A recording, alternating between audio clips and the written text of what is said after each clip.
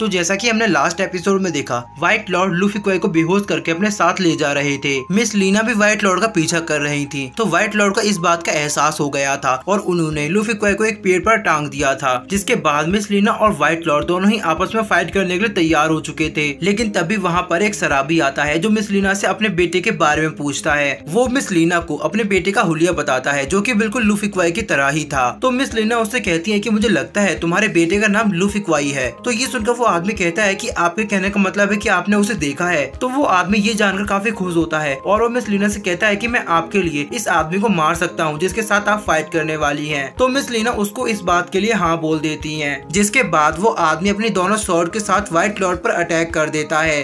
अब आगे।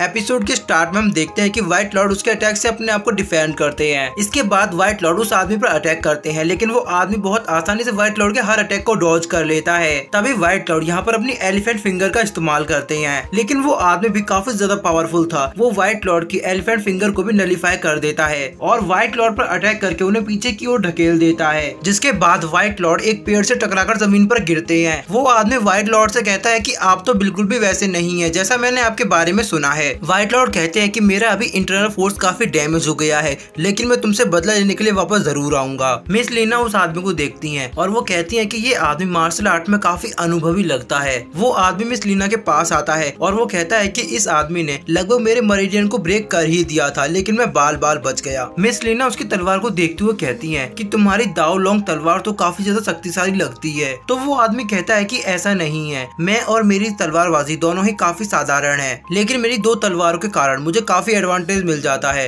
इसके बाद वो आदमी मिस लीना से कहता है कि मैं अपने बेटे सू को ढूँढने के लिए जा रहा हूँ। वो आदमी वहाँ से जा ही रहा था कि तभी मिस लीना लुफी क्वाई को देखती है जो की पेड़ से लटका हुआ था। तभी अचानक वो आदमी भी वहीं रुक जाता है। मिस लीना उसको देखती है और पूछती है की तुम्हें क्या हुआ? तभी वो आदमी लुफी क्वाई की ओर इशारा करता है और वो कहता है की मुझे यही मेरा बेटा सुबाई लगता है। तो मिस लीना उस आदमी से कहती है की ये तुम्हारा बेटा नहीं है। देखो, इसके हाथों में तो कोई सॉर्ड भी नहीं है और तुम्हारा बेटा तो हमेशा अपने साथ एक सॉर्ड को रखता है, तभी वो आदमी फिर से लुफी क्वाई को देखता है। इधर हम लुफी क्वाई को देखते हैं तो उसकी बर्फ़ धीरे धीरे करके पिघलने लगती है और लुफी क्वाई भी होश में आने लगता है। और तभी अचानक लुफी क्वाई अपनी बर्फ़ को तोड़कर अपने आप को आज़ाद करा लेता है। लुफी क्वाई अभी भी अपने कंट्रोल में नहीं था। वो ज़मीन पर आते ही सबसे पहले मिस लीना को देखता है और उसके बाद उस दूसरे आदमी को। वो आदमी लुफी क्वाई से पूछता है कि क्या तुम्हारा नाम सुबायू है? तो लुफी क्वाई उसकी बात का कोई जवाब नहीं देता। मिस लीना उस आदमी से कहती है कि ये लड़का तो पागल है। ये आपका सुबाई नहीं है। तो वो आदमी मिस लीना से कहता है, लड़की, तुम मुझे बेवकूफ़ मत बनाओ। मेरा दिल कह रहा है कि यही मेरा बेटा सुबायू है। मैंने तुम्हारा कर्ज उतार दिया है। इसीलिए अब तुम मेरे रास्ते के बीच में मत आना। मैं अपने बेटे को अपने साथ वापस ले जा रहा हूँ तो ये देखकर मिस लीना सीटी बजाकर लुफी क्वाई को उस आदमी पर हमला करने का इशारा करती है। लुफी क्वाई भी तुरंत ही उस आदमी पर अटैक करने के लिए जाता है। वो आदमी भी अपनी शॉर्ट को बाहर निकाल लेता है। लेकिन तभी हम देखते हैं कि अचानक से लुफी क्वाई वहीं पर बेहोश हो जाता है। लुफी क्वाई को अचानक बेहोश देखकर वो आदमी थोड़ा सा हैरान होता है। तभी तुरंत ही मिस लीना लुफी क्वाई का नाम लेती है और कहती है की तुम्हें क्या हो गया? मिस लीना लुफी क्वाई को उठाती है और वहाँ से जाने लगती है। लेकिन तभी वो आदमी कहता है की तुम लोग कहाँ जा रहे हो? वो आदमी मिस लीना के रास्ते को रोकता है और वो कहता है की तुमने मुझसे झूठ क्यूँ कहा की ये सुबायु नहीं है? तो मिस लीना लुफी क्वाई को वहीं पर लिटा देती है और वो अपनी तलवार को बाहर निकाल लेती है और उस आदमी से पूछती है कि तुम आखिर सुबायु को क्यों ढूंढ रहे हो?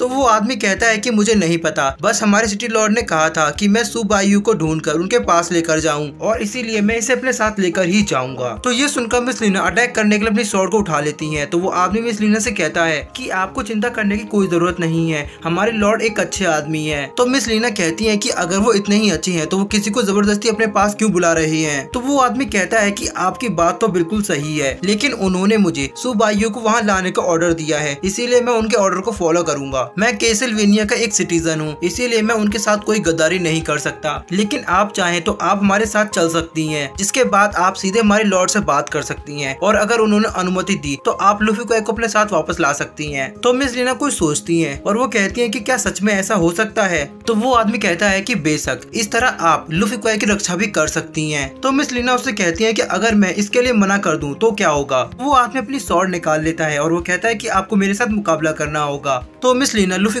की ओर देखती हैं, और अपनी सॉर्ड को वापस रख लेती हैं। इसके बाद हमारा सीन शिफ्ट होता है।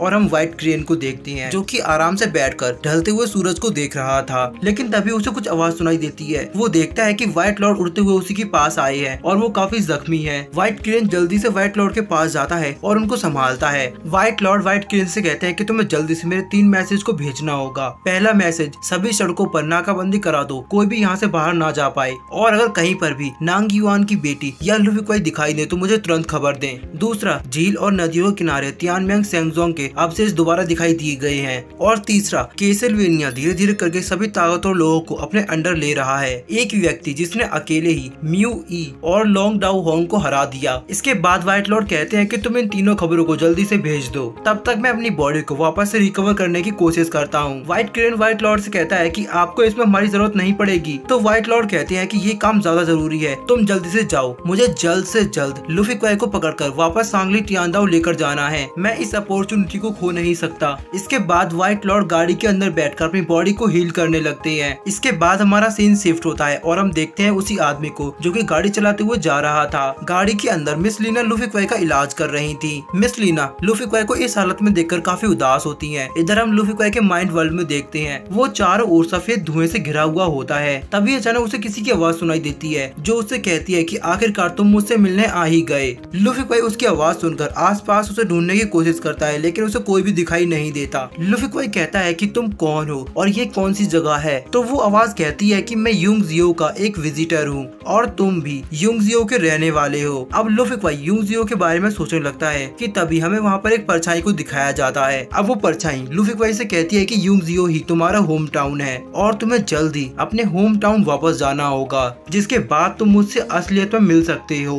तो लुफी भाई उस आदमी से कहता है कि मेरे होम टाउन का नाम जुंग हुआ विलेज है। तो वो परछाई कहती है कि ऐसा नहीं है। तुम्हारा पूरा परिवार युंगजुआ में ही रहता था और तुम्हें अपने होम टाउन युंगजुआ वापस आना ही होगा और तुम्हें वहाँ आकर मुझसे मिलना होगा। तो लुफी भाई कहता है की आप कौन है? मैं तो आपको देख ही नहीं सकता तो मैं आपको कैसे पहचानूँगा? तो वो आदमी लुफी भाई के सर पर हाथ फेरता है और वो कहता है की मुझे यकीन है, तुम मुझे ढूंढ लोगे और मैं तुम्हें बता दूँ कि मैं और कोई नहीं, बल्कि तुम्हारा सगा अंकल हूँ। तो ये सुनकर लुफी क्वाई थोड़ा हैरान होता है और वो कहता है कि आप मेरे अंकल हैं। तभी लुफी क्वाई को सेकंड और मास्टर की बात याद आती है। उसने लुफी क्वाई को बताया था कि तुम्हारी माँ पहले सांगे टियांदाओ की सेकंड और मास्टर रह चुकी हैं और वो सोचता है कि क्या सच में मेरी फैमिली यिंगजुआ से बिलोंग करती है। अब लुफी क्वाई उस आदमी से कुछ पूछ पाता। उससे पहले ही उसकी आँखों के सामने सब व्हाइट व्हाइट हो जाता है। इसके बाद लुफी कोई ज़ोर से चिल्लाता है और वो अपने होश में आ जाता है। मिस लीना, लुफी क्वाई से कहती है कि आखिरकार तुम ठीक हो ही गए। इसके बाद लुफी कोई मिस लीना को देखता है और उसे महसूस होता है कि वो बैठा है, वो ज़मीन हिल रही है। लुफी क्वाई खिड़की से बाहर देखता है तो उसे महसूस होता है कि वो गाड़ी में है। वो मिस लीना से पूछता है कि आखिरकार हम कहाँ जा रहे हैं? तो मिस लीना उसे बताती है कि हम लोग केसलवेनिया जा रहे हैं और इसी के साथ हमारा आज का ये एपिसोड यही एंड हो जाता है।